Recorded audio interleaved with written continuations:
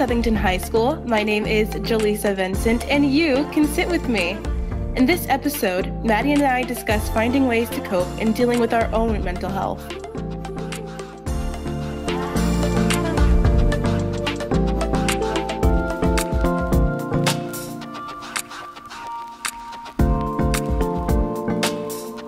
Hello, hello, everyone, and welcome to the first episode of You Can Sit With Me. I am your fabulous host, Jhalissa Vincent, and with me I have the wonderful Maddie Lucanic. Hi, Maddie. Hi, Jhalissa. Maddie is a junior at Southington High School, and most importantly, one of my very good friends.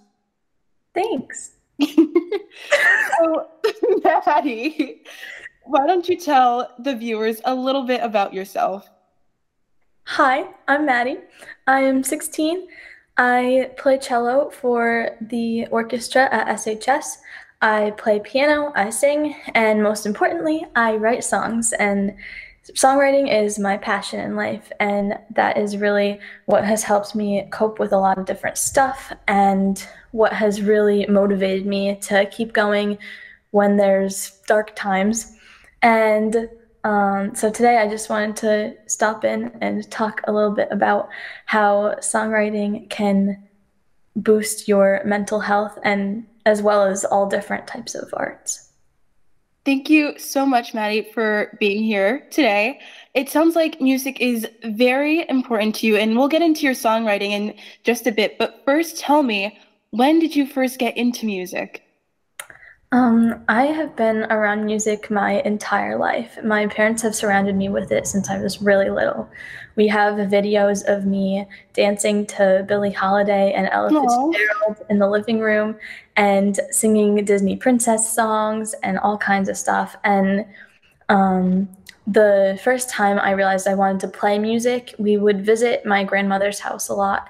And she had this small upright piano and i begged my parents for years like hey i really want to play piano so then when i was seven i had my first piano lesson and i was actually so short that i had to sit on a dictionary to reach the keys um, so i have been playing piano since i was seven and then in ninth grade we were having the petting zoo for different instruments for lessons at school. And me and my mom had a conversation beforehand like, you already play piano. You don't really need to start another instrument. like, just go to the thing because it's you gotta go to the thing for music class at school and just try a few instruments. But we're just gonna stick with piano. I was like, yeah, okay, that makes sense. So I tried. I tried the tuba. Um, so that was and I tried the upright bass, but I was unfortunately too, too short, short. to things. Yep. And I tried the violin. I was like, uh, that's kind of squeaky for me. And then I was pretty much all the way through my whole petting zoo experience. and my teacher was like, hey, why don't you try the cello? And I sat down. I was like, yeah, whatever. I'll do this one more and then I'll go home and play piano. And I fell in love and the the notes and the range that it has was just so beautiful to me and I found it so calming how even if you messed up horribly, it still didn't sound horrible. Yeah. And so imagine my mom's surprise. like, I signed up for So I've cello since fourth grade. Oh, that's great. Yeah. And then in sixth grade, I tried out for swing choir and drama club because I was like, you know, I got to get involved with something. I got to do a club or something. And I was like, hey, I'm not too bad at this whole singing thing. And so I started taking voice lessons. So since then, I've been juggling piano, cello, and singing.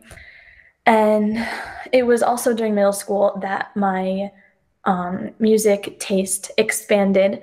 Uh, you know, every kid listens to bubblegum pop and Disney music yeah. and kidz Bop.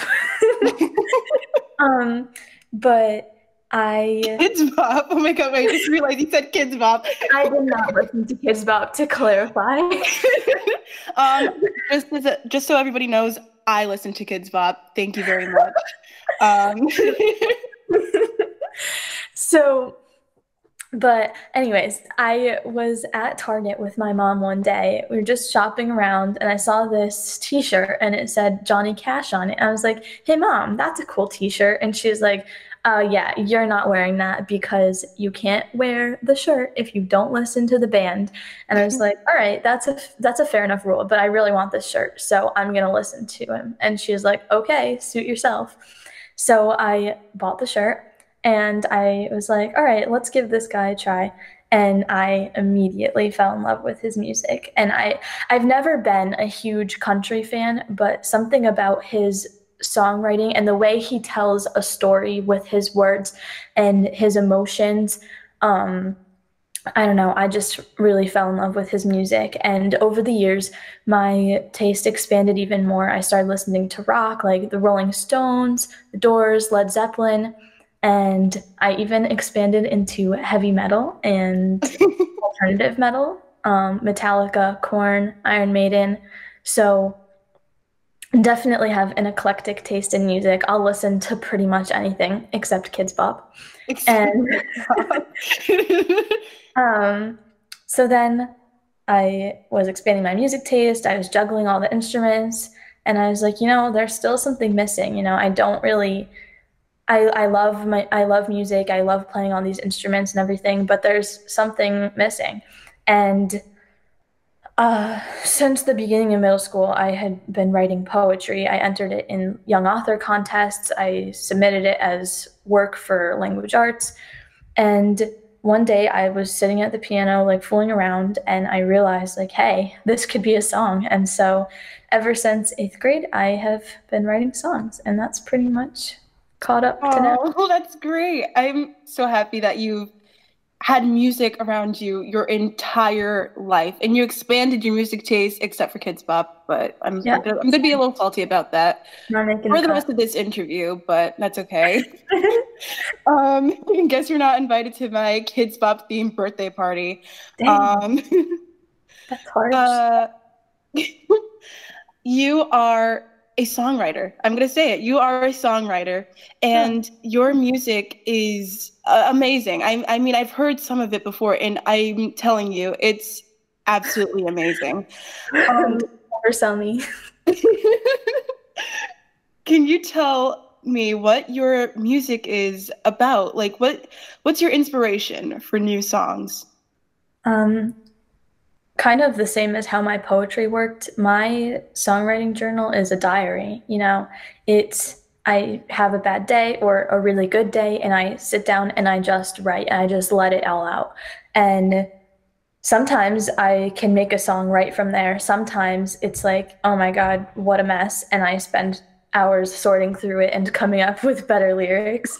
But um, yeah, I've filled, I think, two and a half books already with just oh wow all the lyrics you could think of. And the inspiration comes from different places. It obviously, a lot of it, um, as most songwriters are, a lot of it comes from pain and uh, sadness and loss and a lot of the things that we all cope with on a daily basis.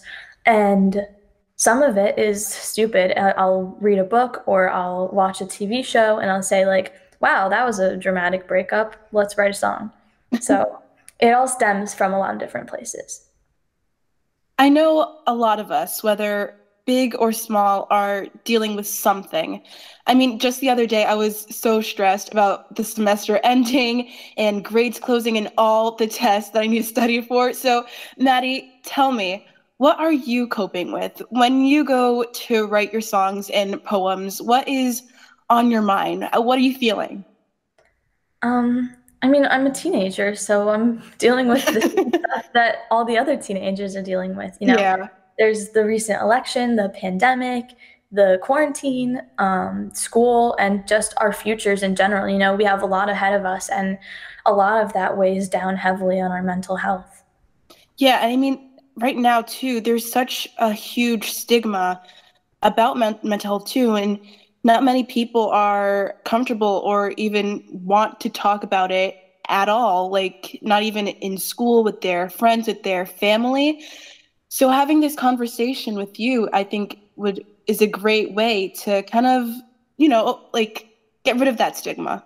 Yeah, I mean, releasing emotions and talking about how I feel has been something that I've struggled with my whole life. You know, I'm a generally happy and positive person. So when I was faced with tough emotions and tough times, I was kind of like, well, what do I do with this? And I feel like it was hard for me to realize that a lot of other people go through that same exact thing. And then once I started songwriting, it just kind of was such an easy way to let go of all of that stuff and to really realize like hey this is normal and um, there's tons of ways to help you deal with this and you're not alone do you find it easier to write songs that are more personal or emotional to you or does it just come naturally can you write a song about like anything or do you feel that like songs that have a deeper meaning are less challenging to write because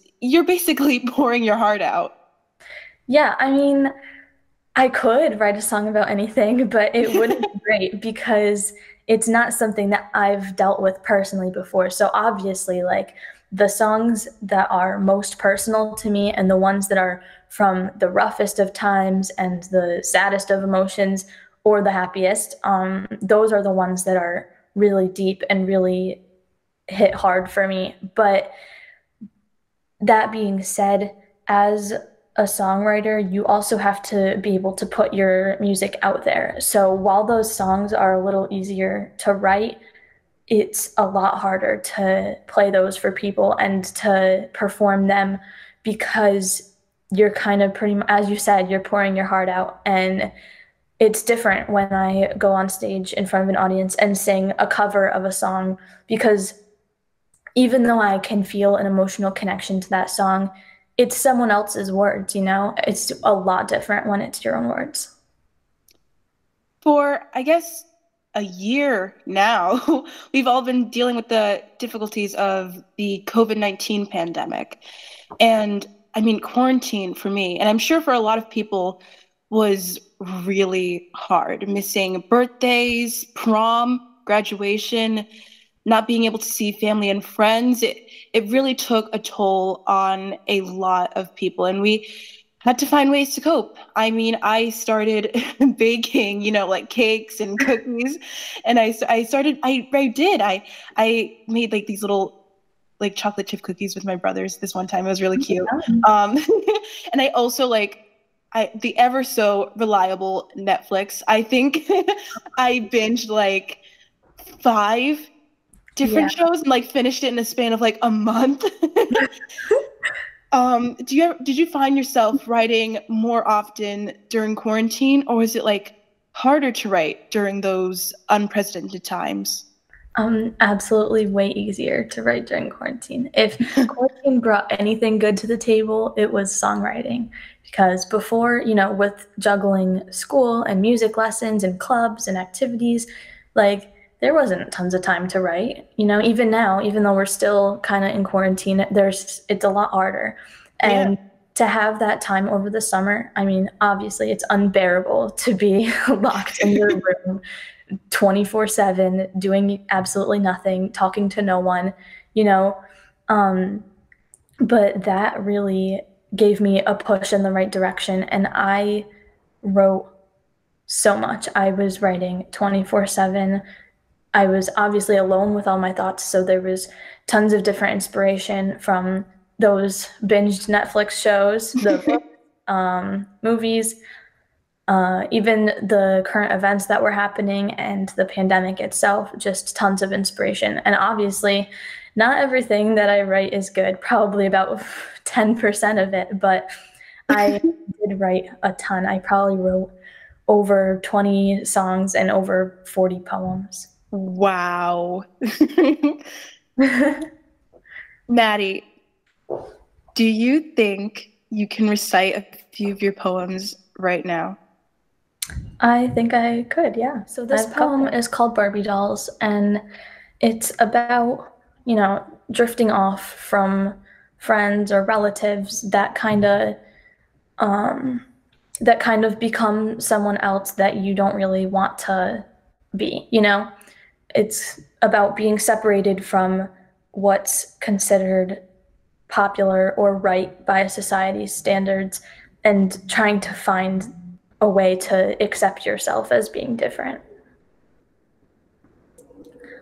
Soft, shiny hair, sparkling blue eyes, shimmering smile, a perfect face, a perfect body. Is it worth it? Are you happy now? Now you fit into the crowd. I cannot see a difference, rows and rows of Barbie dolls. Pretty clothes, pretty smile, but you don't have a choice, do you? You must be happy now. Smile wider, do not stop. How does it feel to harden, to become something unbreakable, to trade your happiness for plastic, plastic skin, plastic heart? Barbies cannot cry, no emotions behind sapphire eyes, an empty shell of someone I knew. Do you recognize me, old friend? I'm not like you anymore. I have bruises and cuts, scars, markings, burns, but it's okay. It helps me feel. I can be fragile, breakable, but I won't be just another doll. Look around you. Does anyone stand out anymore? Perfect hair, perfect eyes, perfect smile perfect little Barbie dolls. I hope you're happy now. What was the inspiration for that poem? What does it mean to you? Um, you know, every teenager experiences some type of uh, distance from friends. You know, everyone grows up, everyone changes, and sometimes some people don't change. You know, I always found myself um, staying true to who I am. You know, I was never one to try to bend to what society wanted me to be.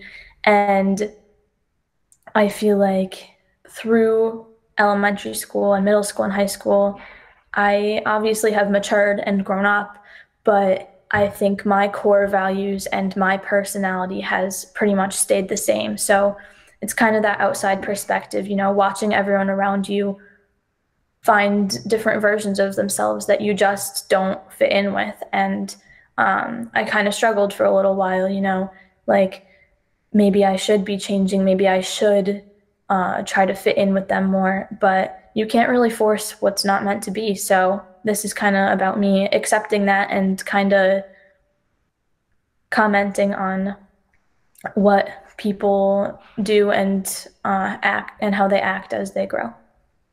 Um, this next poem is called Control, and this poem is kind of why I'm here today. You know, it's really about struggles with mental health and trying to accept these negative emotions and these hard feelings that we can't avoid, you know, and how some people like me try to avoid those feelings, but in the end, you know, that's not really so that's what life is. You got to take the ups and the downs.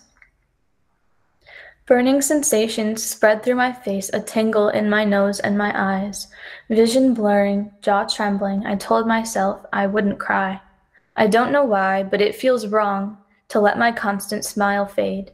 How can I make you happy if I don't feel the same? For days, weeks, months, I never rest. I hold back every single tear. I repress every fleeting worry, every sorrow, every fear. It builds and builds and builds until my tank is all filled up, and then I cannot help it when I finally erupt. It always feels so overwhelming to lose all my control. I feel so small and weak, I hate to be exposed. Crying isn't natural. I don't feel like myself. When all the tears come streaming out, I'm positive it's someone else. I don't know why I feel this way, this constant craving for restraint. Why can't I just let it out? Everyone feels pain. But I suppress and hide and balance all the things that make me real. I just want to be happy. I don't want to feel. I told myself I wouldn't cry. Don't cry, don't cry, don't cry. A line that really stood out to me was those last few words, I, I told myself I wouldn't cry, don't cry, don't cry, don't cry. Can you explain those lines in depth? Uh, yeah, it's kind of when I was younger, you know, I as I said earlier, I really struggled with the negative emotions that I had, and I struggled with releasing those. I felt this constant need for control. And that's kind of like a mantra that I used to repeat to myself, you know, because to me, crying was a weakness. You know, that was showing someone that you're vulnerable and that you can be affected by different problems and different emotions. But through the years, I've learned like crying is not just weakness, it's strength.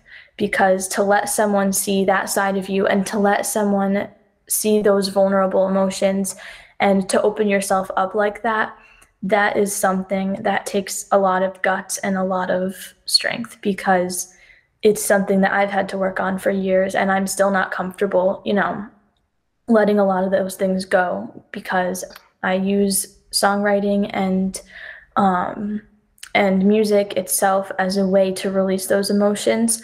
And I think a lot of people struggle with that um, that fight for control over your emotions. And I've definitely learned over the years that it's something you can't really control. It's something that you gotta accept and release. This song is called Beautiful, and it's a song I wrote when someone in my life was feeling pretty down about themselves and pretty having a pretty rough time. And I sat down and I was, you know, I was really upset because it really sucks to see people that you love in your life have that difficulty and struggle with those feelings. And so I just sat down and I poured out what I was feeling about the situation. And this song came out. And I think this is really important with the message that I'm trying to spread today. Um, just a little bit of positivity for your day. I see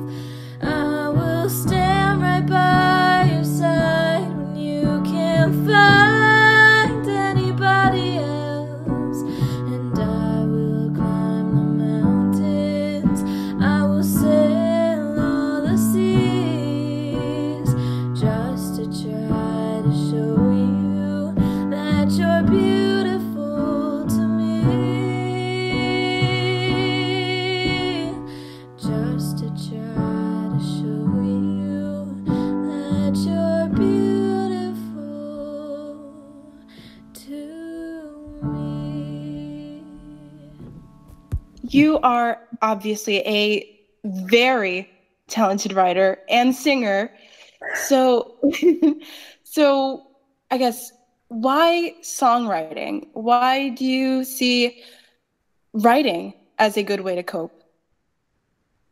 Um, that's a good question, and it's one that I don't know if I could answer, you know, completely straightforward. I, as I've said, I love music and I've been surrounded with it all my life. It's been a part of my life for so long.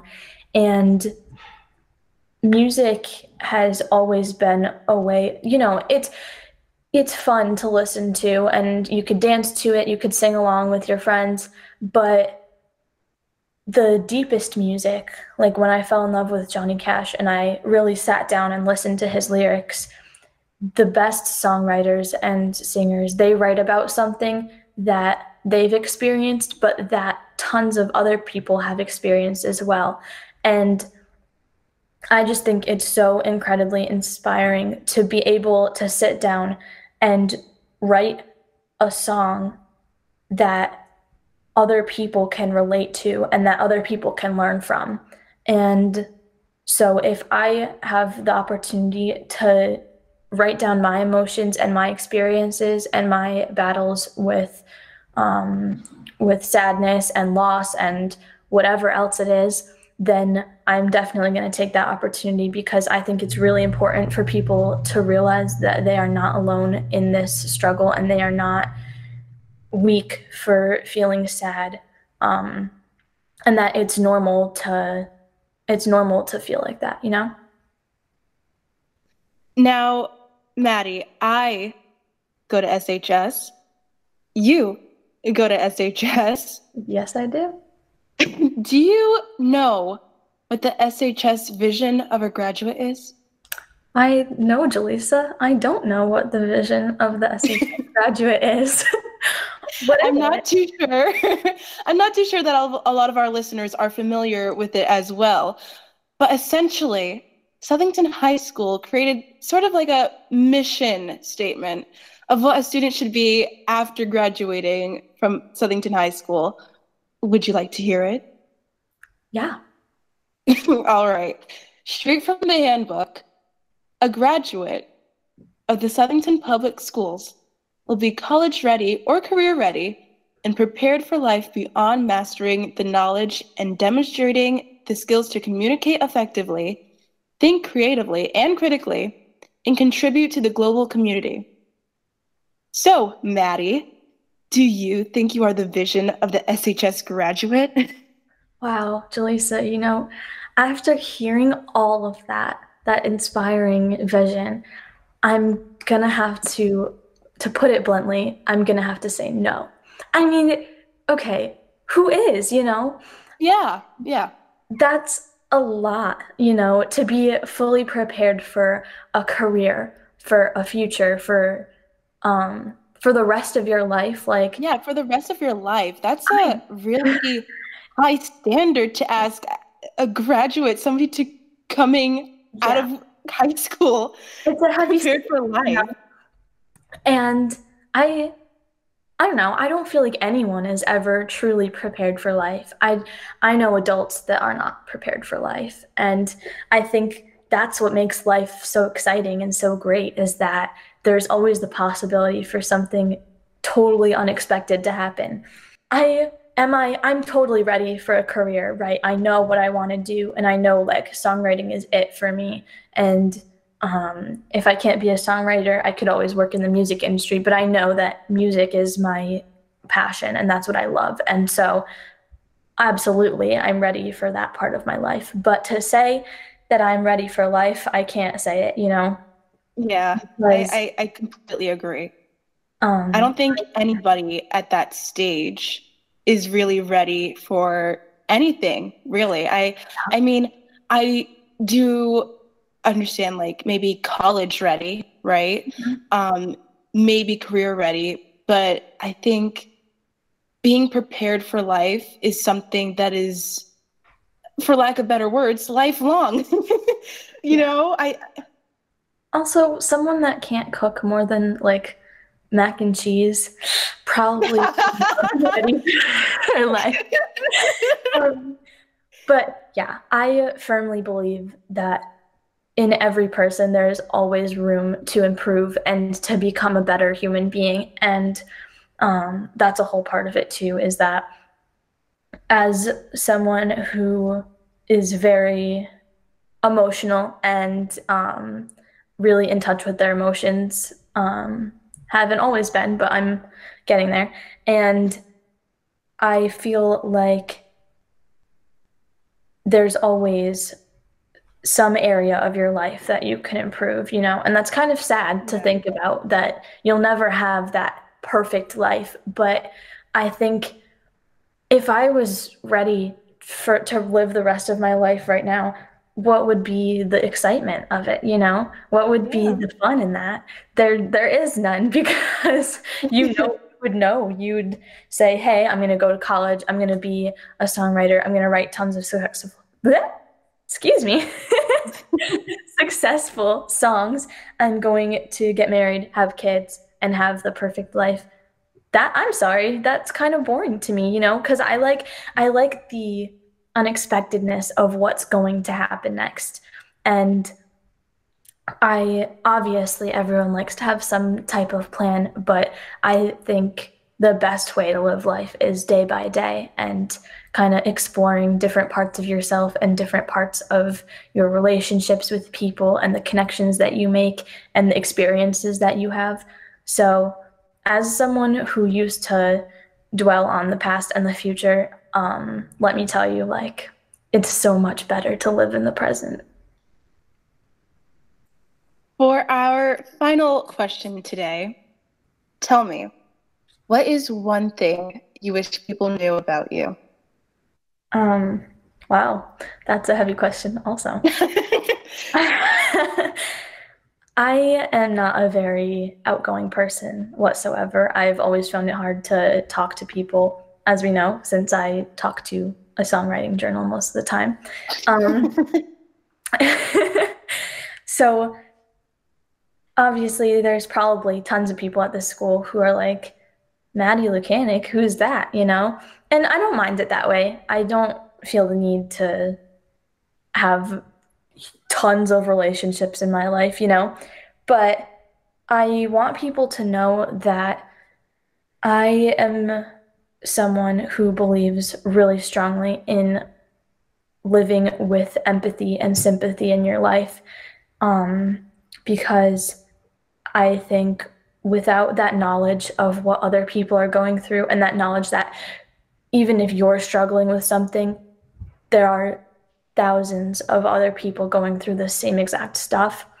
I think that you'll live a pretty lonely life. You know, you got to understand the emotions that everyone else feels and be able to connect that to your emotions because if I didn't have that connection to other people and if I didn't realize like, hey, you're not alone in this. There are tons of other people who are sad and who are stressed. I feel like I would be so alone, you know? And I also want people to know, like, just as much as there are tons of people that connect with you, there are tons of people that also feel that same anxiety about getting rid of those emotions and pushing them down and not showing anybody that vulnerable part of yourself. And it's taken me a while, you know, and I'm lucky to have learned this lesson this early in my life because there's still so much left and a lot of people might not learn it ever. And so it's really important for me to come in today and say it's okay not to be okay because all through my childhood, I struggled with, hey, Maddie, you should probably be happy right now. Um, like, smile and don't cry and don't show anyone that weaker part of you. And I think that repression of those feelings is something that can weigh down upon people so heavily without them knowing. And eventually there's a breaking point. And I am fortunate enough to have reached that breaking point, and it is so much better. I live my life so much more clearly and so much more effortlessly because I have found that way for me to cope with those emotions and because I've found that way to accept the, those parts of me. And obviously, I'm not telling everyone to go out and be a songwriter. You know, there are plenty of ways to cope with those emotions. There's art, there's dance, there's sports, there's exercise, there's just talking to your friends if you feel comfortable with that. And I think that if anyone's going to take anything away from this whole interview and this whole podcast, it's just like you're not alone and it's definitely okay to cry and to let out your anger and to scream and yell and punch things not other people. um, so yeah, I just wanted everyone to know like I'm here and I hear you and I know how you're feeling. And if you need a friend, I'm at SHS and I mean you might not know what I look like, but um, come down to the band room, say hi, come to music club, um, join a club. There's music always club. there's always people around you that can relate to how you're feeling and that can sympathize and empathize with how you're feeling. And I think it's really important for you to know that. Thank you so much, Maddie, for taking the time today and having this conversation with me. And remind me to send you my Kidz Bop playlist, please. Um, I'm going to convert you into a Kidz Bop fan by the end of this year. It's my goal. Do they do heavy metal covers? we'll find out. Thank you.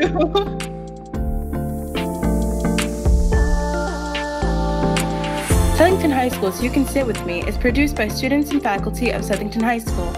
A special thank you goes to Southington Public Schools Coalition for Social Justice. I'm Jhalissa Vincent, and thank you for listening. And remember, there's always a seat open for you.